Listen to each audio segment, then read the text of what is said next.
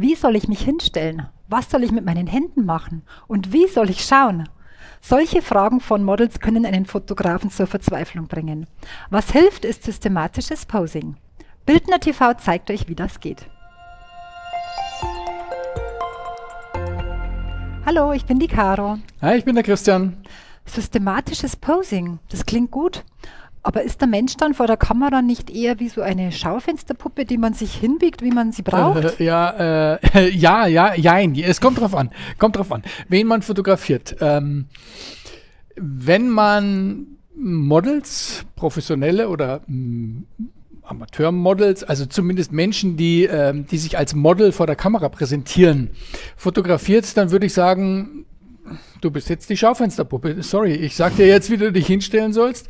Und dann ist Posing tatsächlich, also systematisches Posing, wie wir es jetzt hier beschreiben werden, tatsächlich sowas wie, ich nehme eine Schaufensterpuppe und stelle mir die hin, wie ich sie brauche. Klar. Ähm, aber wenn ich jetzt in der Familie meine Kinder oder irgendwie die Verwandtschaft mal fotografiere, dann ist es natürlich doof. Dann, dann darf man auf keinen Fall rüberbringen, hey, du bist jetzt hier für mich nur quasi Material, um ein tolles Posing hinzukriegen, sondern da muss man äh, dieses systematische Posing, das man mit einer Schaufensterpuppe machen würde, im Hinterkopf haben, um dann den Leuten zu helfen, zu sagen, wo tue ich jetzt meine Hände, meinen Kopf, meine Nase hin. Also liegt es am Fotografen und nicht am Model. Es liegt definitiv am Fotografen, aber auch da muss ich wieder einschränkend sagen, jetzt aus der eigenen Erfahrung, ich fotografiere öfter mal Models, auch Nachwuchsmodels, die eben von sich behaupten, sie sind posing sicher. Das liest man mal immer mal wieder in irgendwelchen Foto-Communities, mhm. Modelkartei oder so.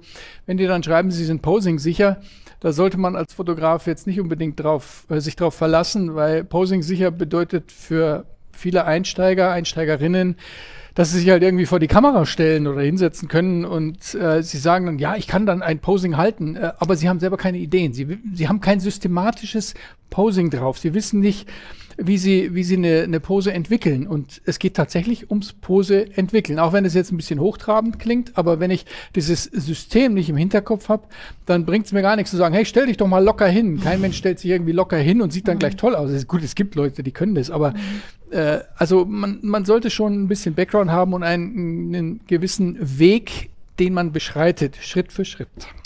Wie kann ich mir systematische Posing jetzt vorstellen? Von Kopf bis Fuß? Genau, also grundsätzlich, ähm, ich, ich persönlich gehe immer davon aus, dass ich einen Körper einteile in Bereiche. Mhm. Kopf, Brust, Oberkörper, ähm, Po, Beine bis zu den Füßen runter. Also man muss wirklich, äh, die Arme habe ich jetzt vergessen, genau, die sind natürlich auch ganz wichtig. Vor allem sind die immer ganz schwierig, was ja, mache ich mit meinen Händen? Schwierig. Ja. Aber man muss tatsächlich den Körper als Gesamtes sehen und ähm, muss, muss die Wirbelsäule quasi so als den, den Ankerpunkt sehen. Von der Wirbelsäule ausgehend habe ich oben die Schultern, die sich bewegen, ich mhm. habe den Kopf, der sich bewegt. Hüfte, Po, der sich bewegt, ich kann die, die Beine stellen. Also das sind so die Grundbereiche, die ich beim, beim Posing, beim Posing entwickeln im, im Blick haben muss. Jetzt beginnen wir mal mit der klassischen Porträtfotografie. Genau, ja. Was gibt es da zu beachten für den Fotografen oder auch für das Model? Ähm, der, ähm, also beim, beim Porträt, da geht es ja, also gehen wir mal jetzt vom Kopf-Brust-Porträt aus, also Kopf, Schultern bis zur Brust. Mhm. Dieser Bereich ist äh, enorm ausdrucksstark. Man kann über diese, diese Bereiche, diese Teilbereiche Stimmungen ausdrücken, man kann äh, Offensivität oder Passivität ausdrücken. Das funktioniert, indem ich mich, äh, indem ich die Kamera als, als äh, Ankerpunkt nehme, jetzt als Model aus der Sicht des Models. Mhm. Entweder ich stelle mich frontal hin, so wie ich es jetzt hier tue, ich stelle mich ganz frontal zur Kamera, sehr offensiv. Mhm.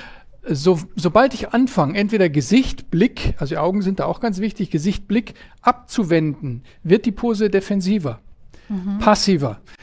Das kann ich verstärken. Wenn ich komplett, mich komplett wegdrehe, ist eigentlich fast überhaupt nichts mehr da. Kein Kontakt mehr zum Betrachter meines Fotos. Mhm. Ich kann aber auch zum Beispiel meine, meine Schulter so ein bisschen zur Kamera drehen, den Kopf wegdrehen. Das ist immer gut für irgendwelche nachdenklichen Posen. Hm. Äh, aber ähm, ich habe noch einen gewissen Kontakt, einen gewissen Bezug zum Betrachter des Fotos. Und je mehr ich zum, zum, zur Kamera mich hinwende, desto offensiver wird's. Also da kann man, kann man spielen, wenn man Gesicht und Augen als Einheit betrachtet, dann das Schlüsselbein als Einheit betrachtet und dann eben auch den gesamten Oberkörper als Einheit betrachtet, Da, ähm, wobei eine Sache noch, man, man sollte Gesicht und Augen nochmal getrennt voneinander betrachten, weil ich kann mein Gesicht zur Kamera drehen, kann aber die Augen irgendwo anders hin bewegen und auch umgekehrt, ich kann das Gesicht wegdrehen von der Kamera und die Augen zur Kamera hin all das verändert den Ausdruck. Mhm. Und damit kann man spielen. Wenn ich jetzt jemanden vor der Kamera habe, gerade auch bei Kindern funktioniert das relativ gut. Wenn man Kinder vor der Kamera hat, dann, dann kann man denen sagen, schau doch mal in die Kamera, dreh den Kopf ein bisschen weg und jetzt in die, äh, in die Kamera blicken. Also mhm. so, so ein Blick von unten. Mhm. Äh, da kommen dann natürlich auch noch die Perspektiven der Kamera selber rein. Das hat jetzt nichts mit dem Model zu tun, aber wenn die Kamera weiter oben, weiter unten steht, das verändert dann auch wieder den Ausdruck eines Bildes. Also wenn man, wenn man anfängt, Bereiche einzelne Bereiche zu definieren und diese einzelnen Bereiche aufeinander abzustimmen. Da hat man dann, da fängt man dann an, systematisch zu denken. Okay, schon beim Porträt sehr viel zu beachten. Ja, ja, absolut. Ich habe mal von diesem Zungentrick gehört, dass man die Zunge ja. so an den Gaumen drückt. Was, ja, was ist da dran? Hilft das? Äh, es hilft tatsächlich, wenn man beim Porträtieren, wenn man die Zunge jetzt nicht, äh, nicht raus, sondern die Zunge an den Gaumen drückt, Aha. ohne dass man jetzt irgendwie einen Krampf im Hals kriegt, aber wenn man die Zunge leicht an den Gaumen drückt, spannt sich hier unten der Bereich am Hals. Äh, also, gegen die Falten, äh, oder? Für was soll das dann Spannung. sein? Es geht, es geht um Spannung. Ne? Jetzt Falten, die werden dadurch nicht verschwinden, aber es, es entsteht eine gewisse. Spannung. Spannung ist sowieso so ein, so ein äh, wichtiger Begriff ähm, im Bereich Kopf-Brust-Porträt. Da gibt es noch einen Trick, wenn man, wenn man den Halsbereich, den Halswirbelsäulenbereich äh, getrennt betrachtet. Die Halswirbelsäule sollte immer gestreckt sein. Das heißt, wenn ich, wenn ich jetzt so dastehe, dann sieht das alles eher nach, naja, nicht wirklich spannend aus, ja. eher, äh, nach einem langen, harten Arbeitstag. Aber wenn ich mich jetzt hinstelle und den Hals spanne, die Halswirbelsäule spanne, mhm. man muss sich dazu vorstellen, ich habe hier hinten am Hinterkopf, also nicht hier vorne oder auch nicht in der Mitte, sondern hinten am Hinterkopf, zieht mich jemand mit einer Schnur, wie eine Marionette. Mhm. Dann streckt sich der Hals, auch die Wirbelsäule, die Brustwirbelsäule wird dann gestreckt und mein Kopf kommt leicht nach vorne das erzeugt schon mal eine ganz andere Körperhaltung, eine mhm. ganz andere Spannung. Oh Gott, sehe ich gut aus. also wenn ich hier so rumhänge, dann ist es definitiv was anderes, wenn ich meinen mein Kopf, meinen Hals spanne. Äh, und mir wirklich vorstelle, hier oben zieht Aha. ein Marionettenspieler an meinem Kopf, sieht es gleich ganz anders aus. Das artet ja in Sport aus. Ich kenne das vom Sportunterricht ja. immer gerade stehen. Genau. Kann man das üben, Buch auf dem Kopf, solche Geschichten? Könnte ich mir vorstellen. Habe ich noch nie ausprobiert, ja, aber es ist wahrscheinlich ein Trick. Als Model, äh, sowieso als äh, bitte, liebe Models, falls ihr hier zuschaut, äh, übt es übt es vorm Spiegel. Das ist äh, gerade gerade im Bereich Amateurmodels. Da kommt dann jemand daher und sagt, oh, ich bin ein tolles Model mag toll aussehen, toll geschminkt sein und alles, aber die Körperhaltung, wenn, wenn jemand zu mir ins Studio kommt und dann so reinschlurft, denke ich mir schon, oh, da müssen wir arbeiten. Äh, wenn jemand reinkommt, als hätte er ein Buch auf dem Kopf, dann mhm. sieht es schon nach, nach Spannung aus, dann sieht es nach Selbstbewusstsein aus. Sowas kann man üben. Und gerade als Model brauche ich Selbstbewusstsein, ich brauche Strahlkraft, ich muss, muss Ausstrahlung haben. Und das kommt durch Körperhaltung, durch Körperspannung. Also nicht nur für die Fotografie wichtig, sondern auch für den Alltag. Absolut. die Ausstrahlung. Ja, natürlich. Ja, klar, klar. klar, Jetzt gehen wir weiter. Jetzt haben wir das Porträt. Was kommt als nächstes? Äh, ich habe vorhin schon gesagt, die Wirbelsäule ist sehr wichtig. Ähm, Gerade bei, bei Frauen ist die Wirbelsäule noch viel wichtiger als bei Männern, weil die können teilweise mit ihren Brustmuckis und so. Äh, Frauen müssen ähm, müssen immer auf, auf den Bereich Hüft, äh, also den Hüftbereich achten, mhm. um ähm, naja, attraktiv, das ist jetzt sexistisch, das soll es nicht sein, aber um, um irgendwo Spannung rüberzubringen, um Attraktivität rüberzubringen, um, um Körperhaltung zu zeigen, der, der, der Po, die Hüften, die, die Wirbelsäule, wenn das alles eine, eine S-Form bildet, also ein bisschen durchdrücken, wie Brust so ein raus, Seepferdchen. Genau, ja, quasi wie ein Seepferdchen von der Seite. Das sind so Dinge, auf die weibliche Models vor allem achten sollten. Mhm. Dazu kommt äh, auch, äh, stell dich doch mal hin. Hm. Ja? Genau, stell dich einfach mal hin. Schau mal in die Kamera, dass wir, dass wir dich da sehen. Genau. Du stehst jetzt quasi oder stell dich mal mit dem Gewicht auf beide Beine direkt zur Kamera. Ganz frontal? Genau, ganz frontal. Mhm. Ziemlich langweilig. Dreh dich mal um 45 Grad zu mir. Genau. Und jetzt Brust raus, Po ein bisschen rausstrecken, die äh, und den, den Oberkörper zur Kamera drehen.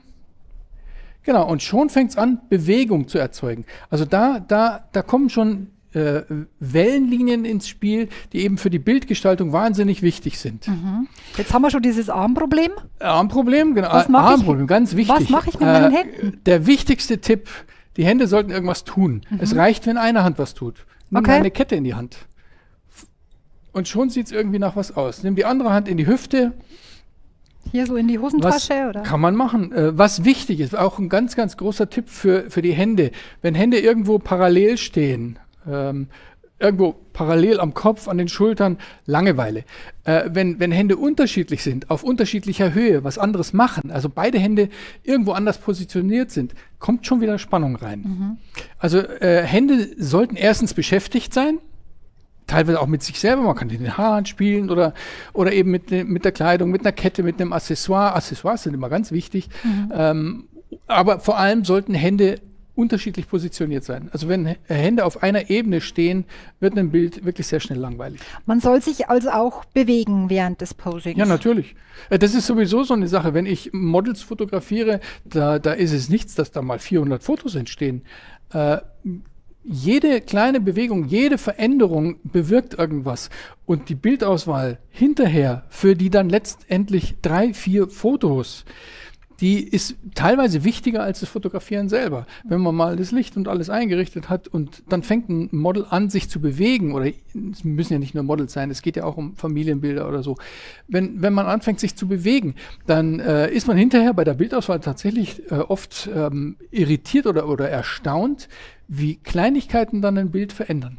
Ja, man ist ja auch flexibler in der, in der Auswahl Ja, der. Bilder, wenn man so Klar, viele klar. Posen hat und, Und da wir digital fotografieren, ist ja nichts hin. Also ja. was nichts ist, wird halt gelöscht.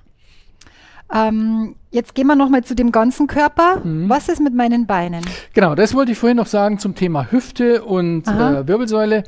Du bist ja, du hast das Gewicht jetzt auf beide Beine gelegt, Ja. was auch eine sehr statische äh, Pose ergibt, die ist so- langweilig. nicht genau. so sexy. Also ein äh, ein Bein sollte immer das tragende Bein sein, also das Gewicht sollte auf einem Bein liegen und das, Mhm. Okay. mit dem anderen Bein kann man irgendwas anstellen. Ob man es jetzt über Kreuz stellt oder, oder äh, in, die Hö in die Höhe hebt oder was auch immer. Äh, äh, das sieht jetzt ein bisschen seltsam aus. Äh, Nee, nee. Aber äh, also ein Bein ist quasi das Standbein, das andere ist das Spielbein. Okay, Und äh, das hilft dann auch immer, die Posen ein wenig zu dynamisieren. also jetzt haben wir das Bein, dann haben wir die Genau. Kette Genau. Und dann noch die Marionette. Ja, sieht sehr cool aus. Ja, genau. Und die Zunge nicht vergessen. Okay, Wunderschön.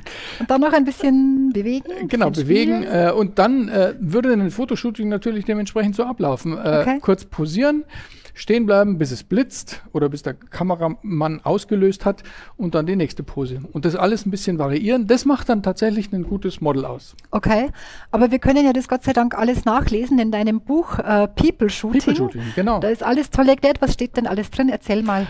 Alles das, was wir jetzt gesagt haben und dann natürlich noch viel mehr zum Thema Licht, zum Thema Accessoires, zum Thema Kulisse, zum, zu, zum Thema Ausdruck, Psychologie in der Fotografie. Also da ist eine ganze Menge, was man lernen kann, um richtig klasse Porträts hinzubekommen. Unten in der Beschreibung findet ihr übrigens einen Link dazu. Und wir machen ja noch mehr Videos zu deinem Buch People Absolut, Shooting. natürlich. Da Dann abonniert uns, damit ihr ja nichts verpasst. Wir freuen uns über einen Daumen hoch, wenn euch das Video gefallen hat. Bis bald bei Bildner TV. Bis bald, ciao. Ciao.